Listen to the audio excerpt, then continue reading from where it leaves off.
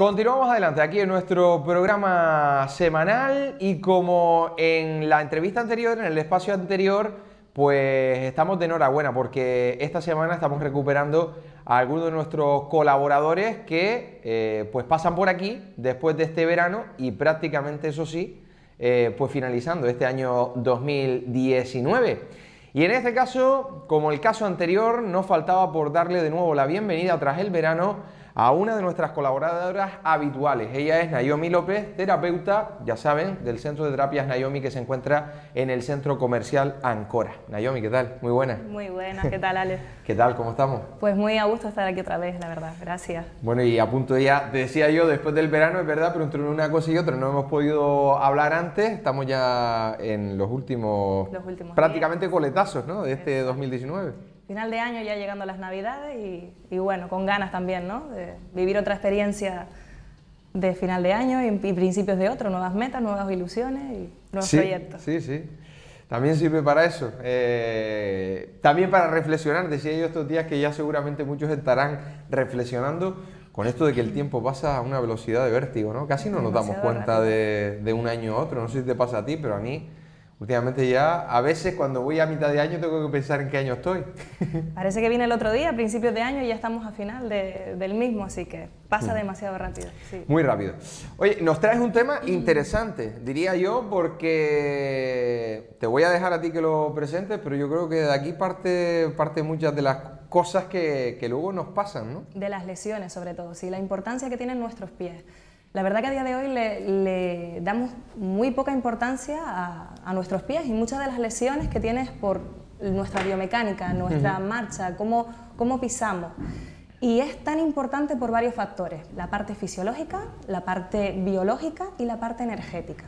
Si hablamos de la parte física, eh, los pies son eh, los que nos ayudan a mantener un equilibrio ya que se adaptan a diferentes superficies amortiguan el constante impacto que tienen y son los que nos mantienen en bipedestación, de pie, erguidos, nos ayudan a caminar, a avanzar. Gracias a que el pie, al ser de esta, de esta manera, más o menos vamos a dejarlo, imaginarlo con mi mano, hace una especie de palanca rígida que, genera una propulsión que es la que nos permite eh, la marcha.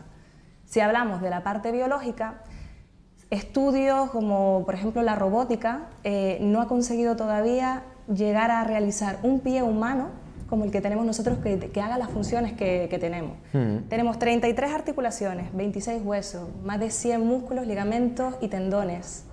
Y te digo, para no entrar en detalle en, los nombres de los músculos, de los huesos, Sí es importante el conocer nuestra estructura, nuestra estructura del pie, de saber cómo pisamos, de tener conciencia, porque muchas veces tenemos un ligero dolor al que ni siquiera le prestamos atención, o tenemos un dolor que rápidamente vamos al médico y ¿qué? ¿Qué nos pasa? Es prestar atención qué tipo de calzado estamos utilizando, cómo nos encontramos en este momento de nuestra vida, em, qué tipo de actitud tenemos, todo eso influye en, lo que es la pisada, en lo que es la marcha. Bueno, hablas también de la parte energética, ¿no? Eso también... La parte energética es súper importante porque nos revela muchísimas, muchísimos aspectos de la personalidad de una persona. Al ver cómo, cómo camina, cómo se para, eh, las posiciones que tiene, incluso muchas de las tensiones musculares nos hablan de cómo está esa persona en, estas circunstancias de su vida. Voy a entrar un poquito en lo que es la parte biológica. Es, importante primero conocer eh, cómo está estructurado el pie. Y el pie tiene tres arcos. Estos tres arcos son súper importantes porque es los que nos ayudan a amortiguar. Amortiguar cada vez que el pie toca el, suelo, manda una información a tanto rodillas, tobillos, caderas, hombros, occipitales. Si estamos continuamente pisando mal, esa información va a crear unos ajustes en, nuestro cuerpo, en nuestro cuerpo en el que van a contraerse determinados músculos, va a hacer que eh, el cuello, las cervicales padezcan una serie de lesiones, porque siempre va a permanecer a prevalecer, perdón, lo que es la horizontalidad de la vista y de los canales semicirculares del oído. O sea, me puedo cambiar todo, pero la cabeza tiene que estar siempre recta. Eso es súper importante.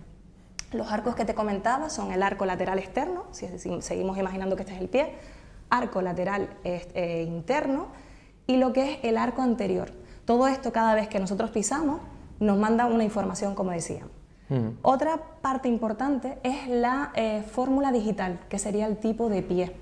El tipo de pie, si pueden, sí, tenemos, hemos traído eh, algunas eh, fotografías para ilustrarnos mejor, para que los que nos están viendo pues lo, lo puedan ver mejor. Si ven este, los tipos de pie, tenemos tres tipos de pie. Tenemos el pie eh, cuadrado, en el que la longitud del metatarso, que es la falange del primer dedo gordo, el huesito que vemos medial, ese es el metatarsiano, y lo que es la falange, el dedo gordo, más o menos tienen la misma longitud. En cambio, el pie griego, si te das cuenta, el primer dedo es en menor tamaño, en menor longitud que el resto de los demás. Y el tercer pie, que es el pie egipcio, tendría forma de pirámide, en el que lo que es la longitud de la primera falange, el primer metatarsiano, es más larga que el resto. ¿En qué repercute esto? Esto repercute en la biomecánica de la marcha. No es lo mismo una persona que camine con un pie cuadrado que un pie egipcio. Por ejemplo, una persona con pie griego va a terminar en lo que es la, marcha, siempre apoyamos lo que es el calcáneo. Empezamos con lo que es el talón, la parte externa, la parte medial, luego sigue la bóveda plantar y luego termina con los dedos. La propulsión termina de esta manera. Una persona, por ejemplo, con el pie griego, como decíamos, todo el peso de su cuerpo va a reterminar cayendo en la segunda falange y la tercera. ¿Esto en qué repercute? Cuando pisamos mal, a la larga podemos tener metatarsalgia, dolores en el almohadillado, que dicen, no sé qué me pasa, pero en esta parte de aquí tengo un dolor, un pinzamiento que se me traduce hasta lo que es la parte del dorso del pie. Ahí es una prolongación de lo que es esa lesión que llega a producir neuroma de Morton, se le conoce también. Para evitar todo este tipo de lesiones, el espolón calcáneo, una persona que pisa mucho con el talón, eh, fascitis plantar, tener conciencia. El tema del calzado, como decíamos, hay tres tipos de pisadas. Tenemos tres tipos de pies, como habíamos dicho. Si podemos poner el tipo de pisada. Podemos, esa, ¿Es la misma fotografía, no? ¿O es la siguiente? La segunda, exacto. Mira, aquí tenemos tres tipos de pisada. Está la pisada neutral, en el que el peso del cuerpo recae más en la bóveda plantar. El supinador, conocido bastante por el tema de las zapatillas, las ASI, qué, tipo de, calzado nos viene bien, en el que siempre apoyamos la parte externa de la del, pie y donde los problemas prácticamente van a, repercutir en la cara interna de las rodillas. ¿vale? Siempre los ligamentos van a sufrir un poquito más. En cambio, el pronador va a inclinar su peso bastante en lo que es la parte interna y se va a repercutir en la zona de las caderas y la fascia lata. Futbolistas, corredores, es súper importante un estudio de, de, lo que es la pisada. De la pisada. Exacto, porque empezamos, no sé qué me pasa, pero tengo un dolor en el cervicales o en el romboide, una contractura que lleva bastante tiempo conmigo. Todo viene desde el pie, desde cómo pisamos. Ahora que estamos viendo eso, es verdad que de todas formas, últimamente cada vez, precisamente porque el deporte se ha puesto de moda, todo el mundo está, está corriendo, esto se está hablando mucho más, pero es verdad que lo hemos dejado prácticamente ahí oculto, ¿no? Esto de eh, qué pisada tenemos, antes no se escuchaba. De hecho, todavía vamos a comprar zapatillas y este aspecto yo creo que no lo tenemos en cuenta. No tenemos en cuenta, claro, desconocimiento.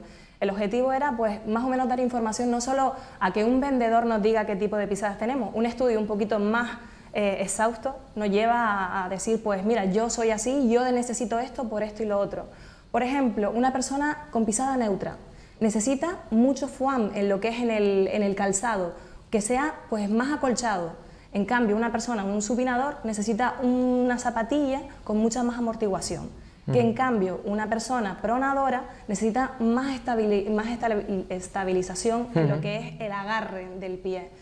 Súper importante, porque como tú bien decías, todo el mundo ahora mismo hace deporte, todo el mundo de repente es corredor, running, que si esto, que si lo otro, y no tenemos conciencia de cómo estamos pisando y, al final tenemos las traíñas, tenemos la, la, famosa carrera de, obstáculos también que, estamos promocionando últimamente en los ayuntamientos y termina todo el mundo lesionado. Lesionado. Eh, atiendo muchísima gente que me dice, es que no sé, después de que hice, claro, hay que ver cómo corren. Por eso decíamos antes de que la manera en la que una persona camina, pues imagínate que corre, revela eh, qué tipo de circunstancias están pasando. Si tú tienes un pie, por ejemplo, pronador, y de repente tú, la, la hora de correr, te inclinas mucho hacia adelante, todo esto va a repercutir en lumbares, en isquiotibiales, en las cervicales, porque tu cuerpo está todo el rato compensando el que se mantenga la horizontalidad.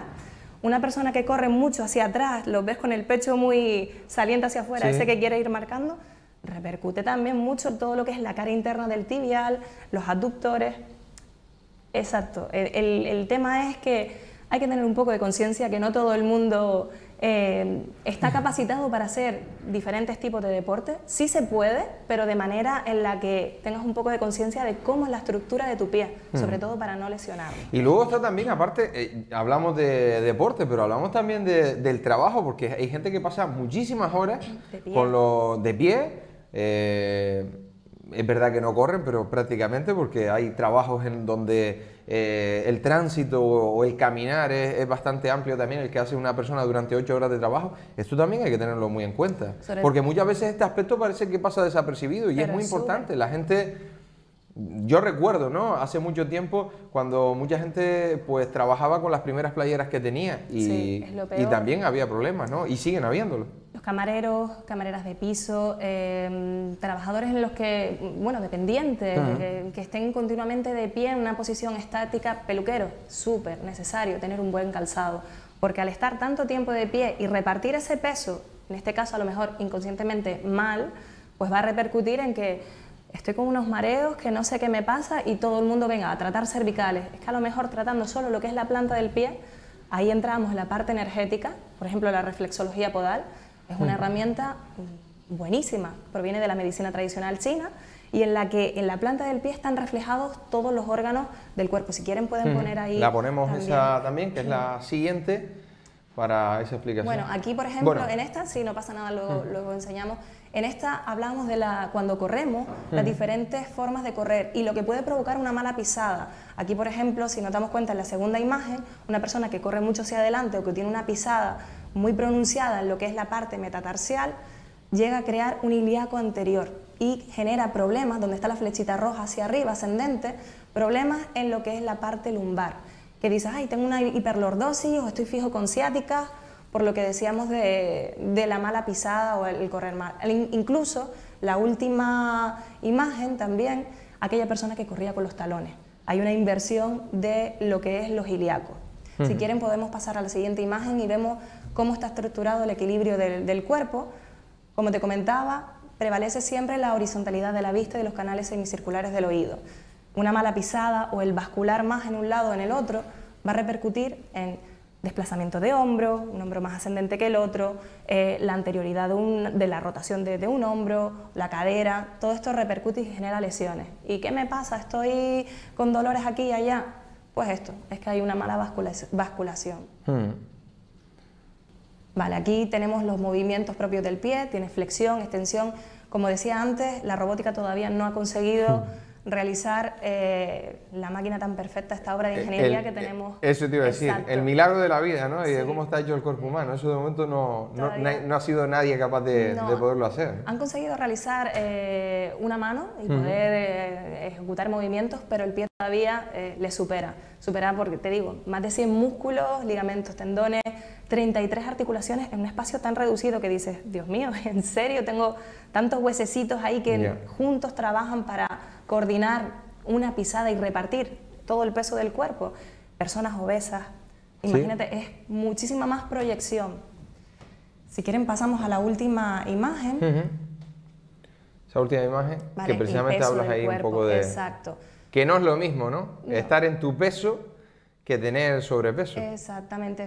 El, el esqueleto humano es igual para todo el mundo y está capacitado para soportar un tipo de peso. Cuando tenemos sobrepeso empezamos con artrosis, artritis, reuma y 20.000 patologías más que, provoca pues, este exceso de, masa. Así es, sí, porque esto es lo que pasa, ¿no? Ya cuando avanzamos en edad, eh, cada vez vivimos más y ahí aparecen esos problemas que tú, que tú dices y muchas veces no se le da importancia. También te iba a decir otra cosa. Es verdad que cuando somos bebés, ahí sí que se le empieza a dar importancia o es la, la parte en donde más importancia se le ha dado al pie con esto de la pisada del niño y todo esto. Luego, con el paso del tiempo, nos olvidamos. Con el tiempo, nada. Sí, al principio es como que prestamos mucha atención. Mira los primeros pasitos, cómo camina. Y si te das cuenta, los niños empiezan a ir jugando con su planta del pie, y basculando de un lado a otro, van creando su propia pisada, pero también por imitación. O sea, es súper importante tener una buena higiene a la hora de, caminar, de, de mostrar, eh, como te decía antes, la parte energética, en qué momento estás pasando de tu vida. Si tienes un bebé pequeño y tu, tu manera de caminar es hacia abajo y todo Es normal pues que por imitación su propia manera de caminar sea similar a la de sus semejantes. Pues mira, es algo, es algo interesante. Me voy a fijar, pero sí es verdad que puede... Sí. Ustedes son una copia para, para, esa nueva generación que viene, son sus ídolos, sus superhéroes, por así decirlo. Mm. Luego están los que vuelan y que los padres no los alcanzan. También, Aunque los padres no sean capaces de correr tanto. ¿eh? Madre mía. si quieres, Alex, pasamos a la última. Vamos a esa última imagen. Vale, y aquí era lo que estábamos hablando, de lo que era la reflexología podal. Aquellas personas que tienen problemas, por ejemplo, en, lo que es la parte del calcáneo, que continuamente dolor, da igual, sean camareros de piso, sean deportistas, una lesión que acaba de comenzar. Con esto no quiero decir que no sea eh, necesario ir a un especialista y que haga un estudio si tenemos un dolor pues alargado en el tiempo. Pero a veces pienso, esta es una opinión personal, que muchas veces vamos al médico con mucha precipitación. O sea, vas a pedir cita y te encuentras aquello lleno y, es para una tontería. Hay veces que simplemente con ser consciente de dónde me duele, qué me pasa, cuándo empezó, pues podemos ser un poquito más realistas y, quizás solventar nosotros nuestras propias dolencias. Como decimos, la parte del calcáneo, a nivel energético, la condición humana eh, intenta siempre reprimir eh, y rehuir de todas aquellas emociones negativas. ¿Qué pasa con esto? Eh, como hemos comentado en otras sesiones, las emociones que no son gestionadas se terminan convirtiendo en psicosomáticas. Psicosomático es aquello, un, trastorno, por ejemplo, vamos a decir mental, que es trasladado a nuestro cuerpo. Eh, Súper importante, como decíamos en la imagen, la parte del calcáneo, los apegos, la parte, pues, eh, en la parte lateral interna, mm. responsabilidad de aquellas personas súper exigentes consigo misma. Cuando apoyan mucho esto, por ejemplo, en un pie griego, perdón, un pie egipcio, se ve mucho, son personas pues muy responsables, incluso llegan a generar, em, ¿cómo se llama? Contra que se me fue el huesecito que se, que se sale del juanetes, ah, los juanetes, exacto. Vale. También la dureza en el primer dedo, dedo, bloqueo mental. Son personas a veces muy, muy rígidas, muy tosudas, esto tiene que salir perfecto. Todo esto pues repercute. Con la reflexología podal podemos conseguir el, que, el mejorar muchas de estas circunstancias porque como ves afectan a órganos afectan a las emociones afectan a los órganos a través de lo que es la medicina tradicional china, la, filosofía que ellos tienen. Súper importante también una buena, eh, un buen calzado, como decíamos, el descalzarnos también, el ir descalzos, no, no estar continuamente con un zapato cerrado. Y dentro de lo que es la, hacer ejercicios también, por ejemplo, colocar una toalla y con los dedos de los pies ir cogiéndolo, mover, movilizar todo lo que es la articulación de, los dedos de los pies. Y lo que hablamos también de lo que es la parte energética de lo que es el pie, representa la conexión con la madre tierra. Esto es un poco místico, pero tú sabes que a mí me encanta el misticismo, Alejandro. y, y sí, o sea, cuando nosotros nos descalzamos, se dice que la parte inferior del pie están todos los chakras inferiores. Son, eh, la conexión con la madre tierra significa el, el, el sustento, el cobijo, el que los principios básicos estén resueltos y muchas veces esas dolencias de pie, sin más ni más, de repente te levantas de la cama, apoyas el pie y qué dolor, qué tal. Fíjate también qué situación estás pasando en tu vida. A lo mejor es un momento de mucho estrés, de mucha preocupación, de intentar Em, tener todo controlado o que las cosas ahora mismo no están sucediendo de la manera que a ti te gustaría, hay una frase que me gusta mucho que no quiero decirla mal, el cuerpo habla lo que la mente calla. Exacto. O sea, tú posiblemente puedes estar pasando una situación que ahora mismo mm, no es la, la mejor en tu vida y bueno, la va llevando, la va llevando, pero tu cuerpo va transmitiendo pues ese, ese pesar, esa angustia, esa exigencia a lo mejor que tienes contigo. Una persona que esté capacitada en lo que es la lectura del cuerpo, masajistas, terapeutas, pues saben de dónde proviene. Y si tienen un, un, buen, eh, un buen servicio, una buena terapia, una de las primeras cosas donde tienes que ir es a los pies. Por eso es tan importante, que es una de las cosas que no prestamos atención, en la que estamos continuamente sobre ello, y que no nos damos cuenta de, oye, hay que descalzarse también porque se dice que lo que es la tierra tiene un campo negativo y cuando nosotros pisamos en lo que es la misma tierra, la gravilla, la arena de la playa, es como que soltamos todas esas emociones. No nos pasa que cuando vamos a la playa y enterramos los pies en la arena, nos sentimos como, wow, qué, qué relax, qué, qué conectado me siento, que me acabo de sacar un peso de encima. Pues básicamente por eso, necesitamos también el contacto con la tierra, con la madre naturaleza, con esa parte mística, esa parte espiritual, esa parte energética de la que todos estamos compuestos. Porque hay un cambio de electrones, se ha visto científicamente, hay un cambio a nivel de la circulación sanguínea, hay un cambio linfático y se activan diferentes músculos. ¿Por qué? Porque al estar eh, con un zapato continuamente apoyamos en tres puntos, calcáneo, el dedo gordo y el dedo meñique o la parte metatarsiana. Al estar repartido continuamente en un zapato día a día, día a día, no se reparte bien el peso en toda la bóveda plantar, en la parte interna, externa. Por tanto, no digo de ir caminando ahora, mismo todo el mundo descalzo, pero sí estamos en casa, pues unos calcetines o, descalzos, si, si, puede ser, conectar un poquito con la tierra, sobre todo para sacar ese exceso de presión, de tensión que tenemos en el día a día. Muy importante, sí, e, esos descansos, sobre todo aquellas personas que, vuelvo a decir, que están muchísimas horas con, con calzado y saber elegir no solamente el calzado, sino también a mí que me ha pasado en alguna ocasión, eh, también el calcetín es muy importante, ¿eh? dependiendo de las horas que vayamos a pasar con esos, con esos zapatos. ¿eh? Sobre todo las costuras, ¿no? Me lo dirás por algo. Sí, sí, te lo diré porque recuerdo haberlo pasado realmente mal dependiendo del calcetín. Yo que en alguna ocasión he estado muchísimas horas con, con zapatos trabajando pues todo el día de pie te digo que es muy importante y muchas veces eso pasa desapercibido, pero también porque no nos lo cuentan, no nos lo cuentan. Hay, como te dije al principio, hay poca importancia en lo que es el pie. Quizás estamos más en lumbares, que es lo que más duele, o ciática, o romboides cervicales, pero es que el que soporta todo nuestro peso, el que está ahí en contacto con, adaptándose a las superficies irregulares. Y, luego te, pregunto un poco por, el estilo de, pie que hablábamos al principio, ¿qué se suele dar más? ¿El neutro o Tenemos más pie griego, perdón, perdón, griego no, egipcio. Eh, hay un, creo que la imagen pone, creo que es un 60 y... Ah, ponían ahí el porcentaje, sí, ¿verdad? creo que es un 60 y algo. Tenemos más pie, pero bueno, siempre hay de todo. Por ejemplo, el pie neutro, como el pie cuadrado, que, también es una pisada más o menos neutra, tiende bastante a ensanchar bastante lo que es la parte metatarsiana. Por ejemplo, zapatos, tacones. Ahora que empezamos en época de fiestas, tener conciencia un poquito de qué tipo de calzado vamos a utilizar, que a veces que por un día de, estar súper guapas, al día siguiente estamos que no apoyamos el pie en el suelo. Eso le pasa a muchas mujeres, ¿no? a muchas mujeres. A muchas mujeres. también a los hombres, ¿eh? que a veces elegimos también mal el calzado, pero bueno, teniendo en cuenta que, que un tacón no es para llevarlo ocho horas. No, para nada. ¿eh? Sobre todo, como te comentaba, rodillas, tobillos, cadera. Y que vale, al día siguiente te duele el pie, pero días posteriores uff, cervicales. Ay, no sé por qué, pero tengo una contractura aquí. Todo tiene su repercusión. Todo el peso del cuerpo tiende a la parte delantera. Y si imagínate, es una persona un poquito más obesa, doble peso en todo lo que es la planta, la parte eh, delantera del pie.